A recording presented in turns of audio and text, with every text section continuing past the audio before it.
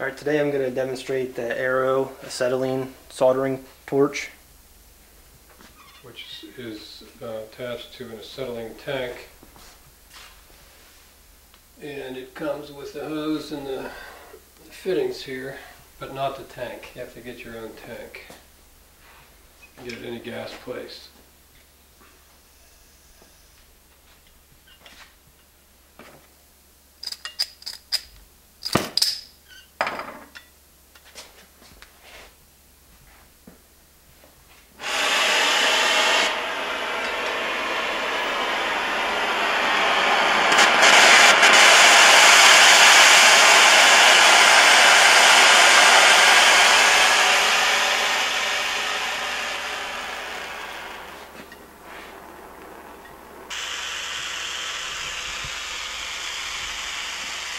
How long does that take to warm up?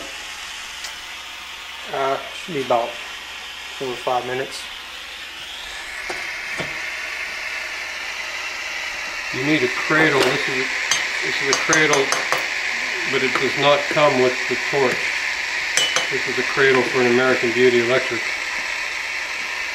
soldering iron. So you either have to make your own cradle or find one somewhere, or set it on something non-flammable, like a piece of slate or a brick, or make a little cradle out of uh, sheet metal.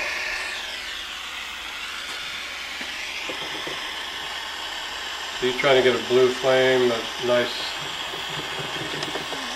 Yeah, sometimes you have to mess around with both valves. There's a pressure valve on the tank, one at the back of the handle. Uh, kind of have to find a happy medium between both of them. You want a nice uh, blue, blue flame burning. that's what you're looking for right there.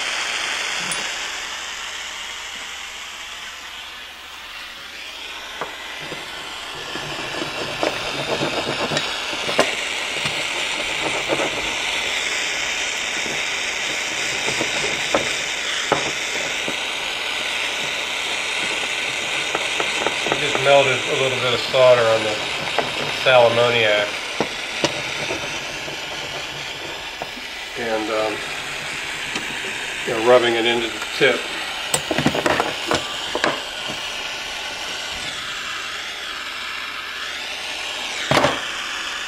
Clean tip, and it's ready to solder. Tip is now tinned. Put a little soldering paste on the joint.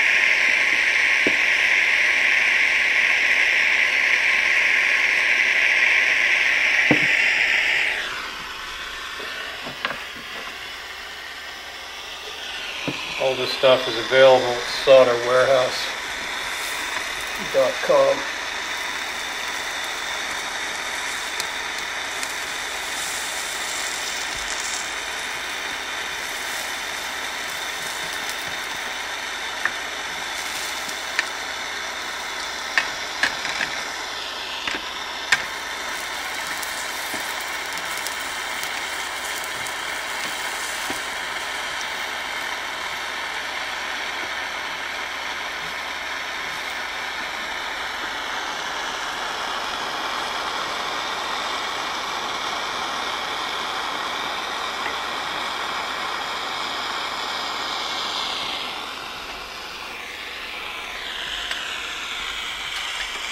That's basically it, huh?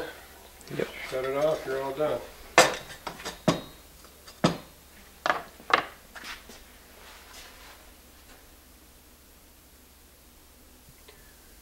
This is demonstrated by Brent Ulisky.